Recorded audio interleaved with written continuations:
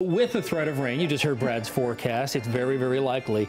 Uh, now the big question, what to do with your little trick-or-treaters? You know, kids wait all year for Halloween, so how can they get their candy fix and stay dry? Yeah, parents, don't panic. We have some answers. Let's send it over now to NBC Charlotte's Rachel Lundberg at the big board to find out where you can get those treats and stay dry.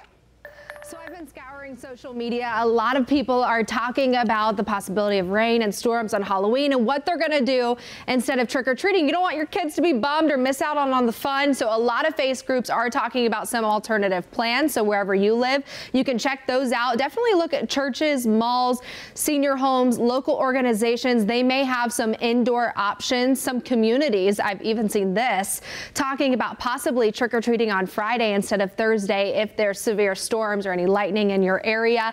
I know some indoor events that I've seen on social media, just to mention here, Joy Church in Matthews, they're going to have indoor games and candy if that's in your neck of the woods. Ebenezer Baptist Church in Indian Trail, they are willing to move their trunk or treat indoors if necessary, but right now it's still scheduled for outdoors. Also, a couple other places to keep in mind if you're looking for some indoor options just as a backup plan, Monroe Crossing Mall, Concord Mills, they've got stuff going on. Also, senior homes is a good option. And I saw at Culver's, a restaurant, they're having a costume contest and your kids they even get a discount on their meal. So just make sure that you stay with us as we continue tracking the weather. Make sure you have our app handy and you keep on with our newscast throughout the rest of the evening. Of course, tomorrow we're going to have a better track of that timeline. Guys.